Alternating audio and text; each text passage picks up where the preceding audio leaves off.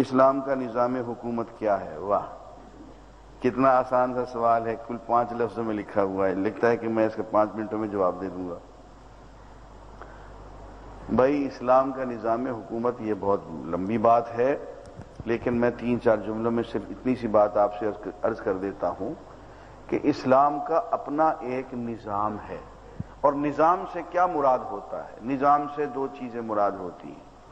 کچھ بنیادیں لازمی حکم، کچھ موانع نواحی حدود، کچھ بنیادی باتیں کہ ان کو ضرور کرنا ہے، کچھ ایسی حدود کہ ان کے قریب نہیں جانا۔ ان دونوں کی بنیاد پہ آپ ایک نظام بناتے ہیں۔ ایک ایسی عمارت جس کی بنیادیں آپ کو بتا دی گئی ہوں کہ یہ بنیادیں تو لازمن رکھنی ہے اور یہ انہی حدود کے اندر اندر بنانی ہے، اس سے باہر بھی نہیں جانا۔ اب ایسی جو بھی عمارت بنائیں گے آپ وہ اسلامی نظام ہوگا۔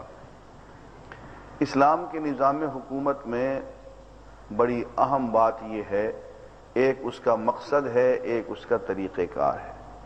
اسلام کے نظام حکومت کا مقصد قیام عدل اجتماعی ہے۔ اجتماعی انصاف کا قیام، یہ اس کا مقصد ہے اور اس کا طریقہ یہ ہے کہ پڑھے لکھے متقی لوگوں کی شورا کے ذریعے سے حکومت چلائی جائے۔ اس میں ہر تیلی تمولی کو رائے دینے کا حق نہیں ہے۔ ہر جاہل آدمی کو، فاسق و فاجر کو، جس پہ سو سو مقدمے ہوں، حکومت میں شامل ہونے کی اجازت نہیں ہے۔ اور افسوس کی بات یہ ہے کہ ہمارے یہ آئین کی دفعہ نمبر باسٹھ اور دفعہ نمبر تریسٹھ ہے۔ لیکن دفعہ باسٹھ اور دفعہ تریسٹھ دونوں کو انہوں نے دفعہ کیا ہوا ہے۔ اس پہ کبھی عمل نہیں ہوا۔ ہمارے آئین کی دفعہ نمبر باسٹھ یہ ہے کہ صرف اس قسم کے لوگ ممبر نیشنل اسمبلی یا ممبر صوبائی اسمبلی بن سکتے ہیں، جن میں یہ یہ یہ یہ یہ صفات ہوں۔ اور کبھی اس کا دھیان نہیں دیا انہوں نے جب کاغذات بھرتے ہیں۔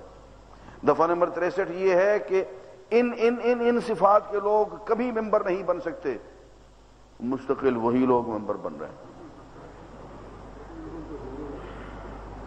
آپ وہ آئین کی بات، صفحہ باسٹھ اور تریسٹھ پڑھ کے تو دیکھیں۔ خدا کر کبھی اسی پہ ہی عمل ہو جائے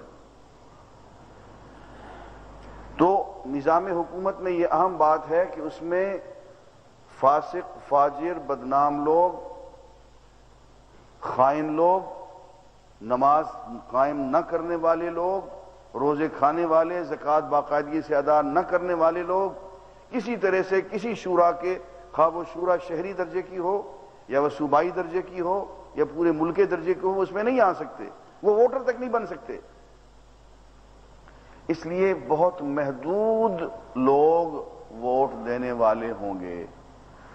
ان سے بھی زیادہ کم لوگ ایسے ہوں گے جن کو کہ امیدوار نامزد کیا جا سکتا ہے۔ اور یوں ایک محدود شورا بنے گی، وہ شورا حکومت کرے گی۔